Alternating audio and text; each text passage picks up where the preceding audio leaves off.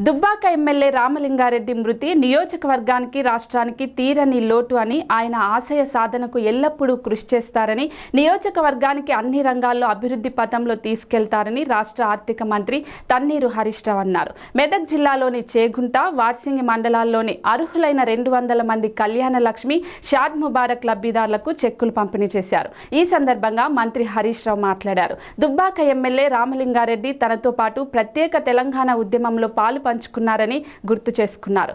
ఈ కార్యక్రమంలో Medak MP Kotha Prabhakar Reddy Medak MLA Padma Devender Reddy తదితరులు పాల్గొన్నారు.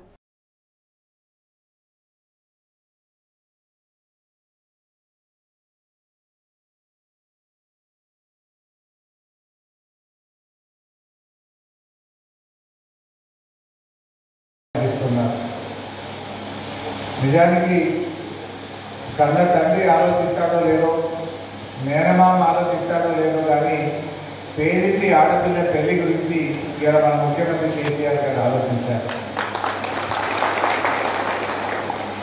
అనేక మంది పెళ్ళిళ్ళ కొరకు చాలా ఇబ్బంది పడేవారు. మొదట్లో పెళ్ళి ఏం చేసినామంటే చెక్కు పెళ్ళయ్యే అమ్మాయి పేరు మీద ఇచ్చాం. చెక్ వచ్చేయాలని పెళ్ళి బిడ్డ అత్తగారింటికి పోతుంది.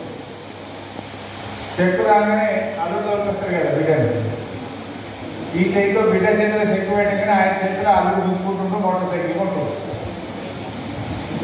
లేకపోతే తెలివికల్ అనుకున్నాను నీరు లెక్క బిడ్డ ఉంటే ఏదైనా ఊళ్ళో ఒక కేసు వచ్చిందనుకో జప్పన దొరకబట్టం ఆయన వాళ్ళు